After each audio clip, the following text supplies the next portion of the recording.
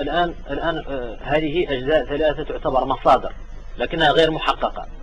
هذا هو اللي ينبغي مثلا يفهمه الباحثون أن الأجزاء التي صدرت الآن أنتم أخذتم للأمانة بأمانة ما وجد وتم نشره. لكن التحقيق مرحلة تالية شيء آخر يمكن أن يقوم بها أي باحث آخر حتى ينقح هذه العلاقات. بالإضافة الأستاذ الحسين على هذه نعم خصوصا أن المختار أيضا قبل أن تبدأ خصوصا أن المختار أيضا بالنسبة لبعض الباحثين العاديين.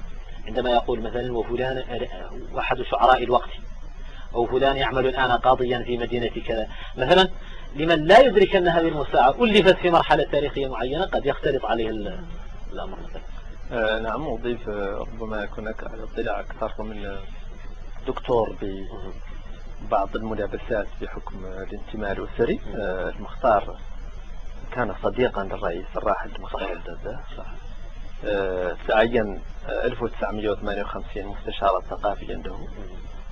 وشارك في صياغة أول دستور الجمهورية الإسلامية الموريتانية. وظل يشغل وظيفة المستشار الثقافي لرئيس الجمهورية حتى سنة 1967 حتى أنه مبولة له الرئاسة و... وكان المختار الداداه يتبنى بصورة شخصية. مشروع آه، موسوعة المختار الحامي جميل جدا. آه، ربطه بعلاقات شخصية مع القادة الإسبان ومع الملك الراحل الحسن الثاني. وكل أطياف السلطات الثقافية والسياسية في المملكة المغربية لتسهيل مهمات بحثه مول له أسفار بحث في فرنسا ودول الجوار آه، عموما وإسبانيا. كان متابعا آه، لأعمال الموسوعة وبعد تقاعد المختار الحامدون فتح له المكتب مكتبه بوزارة الثقافة وقيض له الوسائل على تواضعه المتاح ذاك ومنحه المنزل المقابل للمكتب لتسهيل آه، الأعمال. آه، طبعا كان رجلان مرتبطان. وحتى رحيل آه، الشيخ المختار فلا غرابة إذن أن يكون قد اطلع على طبعا خصوصا أن المذكرات لم تكن قد كتبت حديثا. هي مذكرات رجل يمكن أن يكون بدأ هذا من السبعينات وما قبل ذلك. ولو على المستوى النظري ولو على المستوى النظري طبعا. هذه هذه نقطة. طبعا الكثير من الباحثين أيضا أنا تحدثت مع بعض الباحثين قبل أن نجلس جلستنا هذه عن الموسوعة وذكر لي أن أن أنها أن وطبعا أنتم ذكرتم ذلك الآن أنها أن هناك تحريفات حدثت. وقيل لي أيضا أن أن الشيخ المختار الله يرحمه أنه كان يقول عندما يسأل عنها يقول هي فرقة على النار. شنو حقيقة هذه فرقة على النار اللي قال عنها كانت الناس لا يجي الواحد كيف قلت أنت؟ ويقبل منها طشة ويكتبها الرأس على جهود هذا الرجل اللي ذيك الظرفية التاريخية الصعبة اللي قال عنه مرة قاعد يمشي على الحمير أياك يوصل لمنطقة نهائية ما يقدر يوصل له المكان. إياك يألف هاي المساعدة ويجي واحدين مؤخرا بساطة وتبنى أفكار ويدعوا انها شنو هي الجهود اللي راسم التي تتخذ لحماية هذه اللي هي من التحريف لأن هي موسوعة خطيرة بمفهوم الخطورة. الحديث عن القبائل البريطانية والأعراق البريطانية عندما أطلع أنا, أنا مثلا على فكرة معينة على أن والدي لم يذكر أحاول أن أضيفه داخل. يعني كيف يمكن حماية هذه؟ على الأقل إذا لم تطبعها الدولة على الأقل تكون هناك حماية على الأقل. هي في الحقيقة مسألة مهمة وهذا يوضح آه للمشاهد آه كيف أن آه مشاركة الجميع السلطات ومثقفين وباحثين في هذه المسألة هي واجب وطني لولا هذه الموسوعة ربما لكان عندنا أكثر من عشرين ألف علم وعشرة ألاف مؤلف. غير معروف غير معروف للجمهور ولا للباحثين لأنه تقريبا الموسوعة هي المصدر الوحيد لتراجم آلاف من الأعلام الملكة آه، المختار كان يقول بأنها تكرس على النار طبعا لأنه نظرا لحاجة المجتمع الباحثين الأجانب والباحثين الوطنيين في الستينات والسبعينات إلى إلى القيام بأعمالهم البحثية آه، على المستوى الثقافي والمعرفي. كانوا بحاجة إلى هذه الموسوعة وهو لم يكن بوسعه أن يحجبها عنهم آه، فطبعا هذا هو معنى الذي كان يريد أن يقول. أما مسألة تعرض الموسوعة لتحريف آه، في بعض النقاط هذا طبعا لا يمكن لأحد أن ينكره أو ينفيه لأنه واضح من طبيعة المجتمع ورغبة البعض في الحصول على مزايا أو في طبعا والأسباب أنا شرحت الظروف التي مرت بالموسوعة خلال الثلاثين سنة الماضية. إنما ما زالت هناك إمكانية واضحة لتدارك الأمر وإخراج الموسوعة كما ترك المؤلف. أولا آه، لا, لا, لا أتذكر أن يوجد جزء من هذه الموسوعة إلا ويوجد عالم أو باحث آه، أو مثقف يملك منه صورة أو نسخة. حصل عليها من هدية من المؤلف أو إعارة أو صورها من المعهد الموريتاني للبحث العلمي في طور التسويد أو طور الرقم.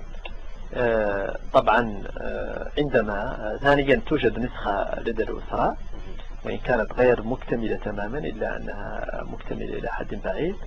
وثالثا المادة التي ما تزال موجودة لدى المعهد الموريتاني للبحث العلمي. عندما يوجد جهد وطني وطبعا هذا لا يمكن أن تقوم به أسرة ولا أفراد يوجد جهد وطني لذلك فيمكننا أن نقول جزما بأن هناك إمكانية لإعادة نشر آه، كامل الأجزاء بالصورة التي تركها المؤلف جميل. الحقيقة أن الحقيقة أن, أن هذا العمل تشكران عليه لأنه الحقيقة عمل هام.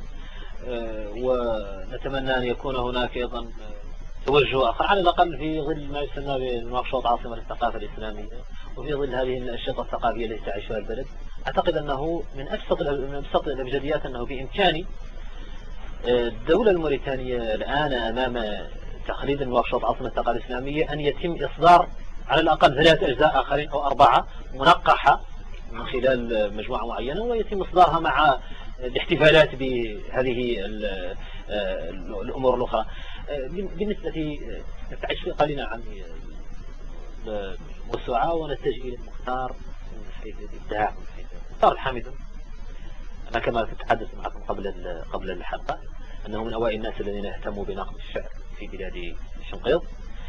لكنني لاحظت أنه الدكتور الدكتور محمد العبد الحي في أطروحته آه، في رسالة تخرجه من من المدرسة العليا للتعليم أعتقد. أجرى مقابلة مع المختار أيامها. تقريبا كانت في الثمانينات و... وسأله عن رأيه في الشعر الحديث. حديث يومها وكان جواب مختار أنا لم أقرأ لهذا الذي يسمونه أحمد شوقي وحافظ إبراهيم. ومثلا النص يقول أن لم أقرأ لهذا الذي يسمونه شوقي أو حافظ إبراهيم أو أي من يطلقون عليهم اسم شعراء النهضة في مصر والغريب الرجل لم يقرأ هذا وطبعا المختار مصدق في رأيه لأنه ليس بالشخص الذي يدعي مثل هذه لكنه أيضا هو لديه الشعر هو أبو المدرسة الكلاسيكية في الشعر الموريتاني صراحة ما هي الأسباب لاعتقادكم المختار لماذا؟ لم يطلع على هؤلاء الشعراء في مرحلته هو. وهو طبعا الرجل الذي يتكلم باللسان اللسان العربي طبعا واللسان الأوروبي ولديه أسفار ولديه اطلاعات ولديه حتى علاقات مع اللبنانيين. المشارقة مثلا. هل ما هي اعتقادكم الأسباب الفنية؟ وهذا مجرد سيكون مجرد استنتاج منكم ليست قضية ما هي الأسباب التي تعتقدون المختار يطلع فيها على الثقافة على الأدب المشرقي المصري أساسا في تلك المرحلة؟ باعتقادك الثالث أعتقد أن أولا المختار عندما يقول لم أقرأ لهؤلاء يريد أنه لم يلم بدواوين ما إلماما جميل جميل. كاملا. فعادتهم حين ذاك ثقافة محضرية أن المرء لا يدعي لنفسه قراءة من لم يحيط به إحاطة كاملة أما الاطلاع العابر على قصائد من هنا وهناك فهو أكيد أنه اطلع عليه لأن قصيدته التي ألقى بالمركز الثقافي المصري السبعينات عن المولد النبوي هو بناها على نفس روية قصيدة الشاعر القروي المصري أمر به عي هذا الشاعر البدوي. طبعا لم بليلة هذا المولد النبوي. قرأنا قصيدة قصيدة سوف نقرأ أبياتا من قصائد أخرى. قصائد أخرى. آه، آه، فهذا يوضح آه، أنه يوضح ما يريد أن يقول بهذه المناسبة. هو لا شك أنه اطلع على الشعر المعاصر في عهده يعني بداية القرن العشرين بدايات من خلال الصحافة اللبنانية التي كانت تصل إلى السنغال. ولكن قبل الانتقال عن موضوع الموسوعة كنت أريد أن أقول أنه حتى بعد صدور هذه الأجزاء الثلاثة آه، آه، نحن آه، اكتشفنا أو لاحظنا طلعنا من خلال تواصل الموريتانيين معنا الفرحين طبعا بهذا الإنجاز. على نسخ من الأجزاء التي نشرناها لم تكن بين أيدينا. و- وكان بإمكانها أن تساعد مساعدة كبيرة في أن يكون التصحيح أفضل. و-